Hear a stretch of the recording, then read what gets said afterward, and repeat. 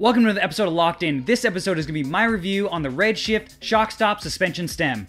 Now, I know suspension stem is going to drive some people crazy, and the second I told my friends that I got one for my bike, they're like, dude, that's stupid. They imagined stems of old with crazy shocks sticking out of them and everything, but Redshift was a company that came up with, in my opinion, a very innovative product for the modern age that gets away from the stigma of a traditional suspension stem.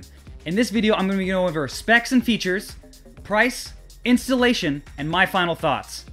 So, specs and features. This stem is an adjustable stem that's going to allow you to have 10 to 20 mil of suspension travel in your handlebars. What that basically means is it's going to allow you to have a little bit of dampening once you hit a hard bump so that it basically takes off the edge of a what I'm assuming most people are going to use this for either a city bike with rough roads or a cross bike or a rigid hardtail mountain bike, just to add into a little bit of suspension, just to take off the edge on your hands, your wrists, your forearms, and everything else.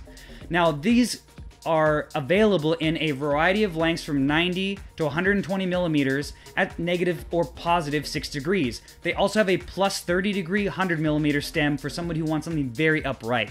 Now this is a good broad spectrum of lengths. Get this stem, it features a pack basically of elastomers. They give you a great guide on how to install the stem and how to weight the stem, or basically pack it with the elastomers that fit your body weight. Now, if you ride this on a straight bar or a drop bar, even at the same rider weight, your elastomers are going to change because your hand position actually affects how the stem is going to handle. Now you can obviously tweak the weight rating basically to your preference. They don't recommend usually going any lighter than what your body weight is rated at, but you could go something slightly stiffer if you want a stiffer ride, depending on where you're riding. Now we get on to price.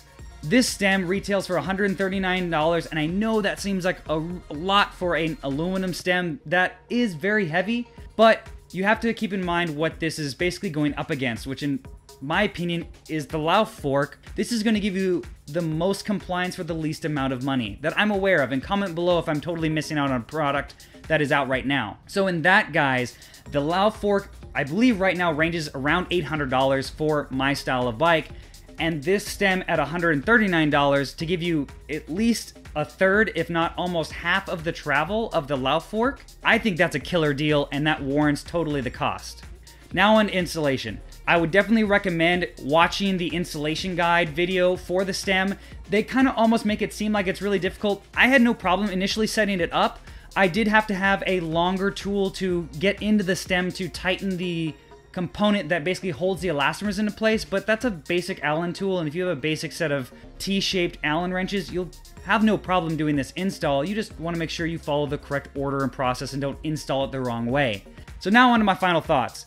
I really like this stem to be honest. It is something that I definitely wouldn't race for cyclocross, but for a gravel event or just commuting or riding around my local trails, I don't think I'd ever go back. And I'm dead serious about this. They are not paying me to say this. I really like it. There is some slight give to it if I am out of the saddle and really pressing down on the bars, but if you have a good rocking side to side motion, there's literally no play. It really depends on where your body weight's at. I notice that if I've leaned a little more forward, I might feel a little bit more bounce, but if I'm kind of middle weighted like you should be or farther back, I don't really feel it as much. Now on the streets, even commuting on my bike, it definitely dampens bigger potholes a lot better than you imagine. It really does take, I'd say, a good 10 to 25% of the edge off of when you're riding on a trail. And you can see in the video footage that I've been overlaying on this, there's some really choppy downhill that I'm doing on this bike, and my arms would definitely be flailing way more than they are. And it definitely takes a lot of the edge off, and it's helped me on longer descents not feel as fatigued as quickly so that I can basically stay more relaxed and have better control of the brakes and my body weight because I'm not focusing on just trying to hang on for dear life. I'm actually enjoying it and being able to pick my line a little better because I have better control over the handlebars. So would I recommend this stem? Hell yeah. I definitely think this is def- this is something that some aspiring gravel rider or racer might be interested in. Like I said, for cyclocross or something that you're really wrenching on the bike a lot more, that slight loss in energy or power in a race scenario, I think might be detrimental, but in a long gravel ride with something with more technical descents where it's just a long day and you're fatiguing yourself a lot more, this might help someone stay a little fresher a little longer. So I hope you like this video. If you have any more questions, comment below. And please like this video and subscribe to this channel. You can follow me on Facebook, Twitter, and Instagram. All the links are in the description below. And thanks for watching this episode of Locked In.